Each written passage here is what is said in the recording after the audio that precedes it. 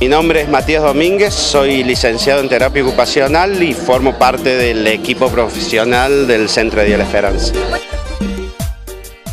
Eh, es un evento que venimos organizando hace 4 o 5 años ya, cada vez con más gente, con más concurrencia y obviamente que los chicos esperan este momento desde el principio de año.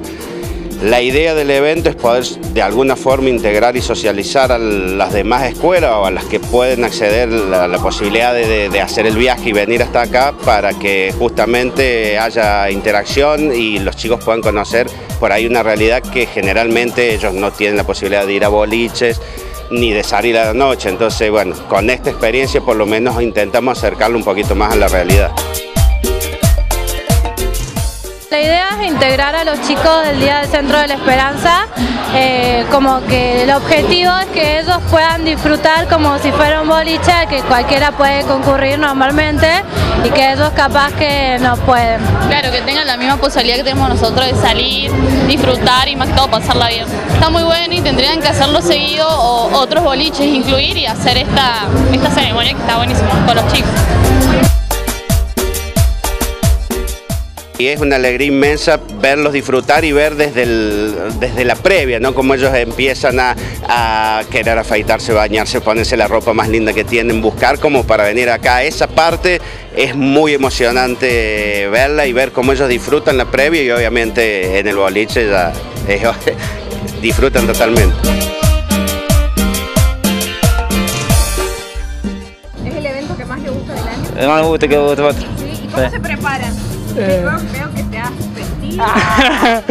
eh, Contame. Te vestido con, con el saco y la camisa y el zapato y el pantalón jean. ¿Esto lo preparaste el día sí.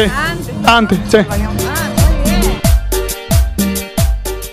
La idea es que todos, nosotros vamos a los colegios, le damos a ellos la charla de, la invitación y le vamos dando la plata con la entrada. Obviamente todos tienen que cuidar eso para el día del boliche, llegar, pagar la entrada y después le queda un resto de plata para compartir tragos con los nuestros, que a nosotros, a los nuestros también le damos los tragos.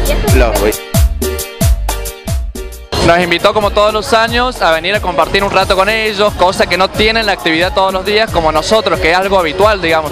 Nosotros salimos todos los fines de semana, etcétera, mientras que ellos no, ellos una vez cada tanto y por eso pasaron los encargados por cada colegio a comentarnos un poco de qué se iba a tratar y es donde estamos ahora.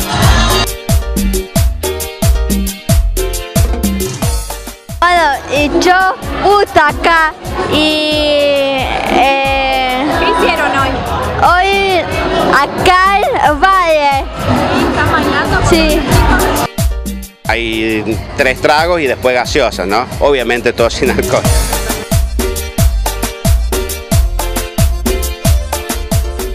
Desde mi punto de vista la actividad muy buena, este, a nivel social es muy participativa, la gente se divierte, va, viene.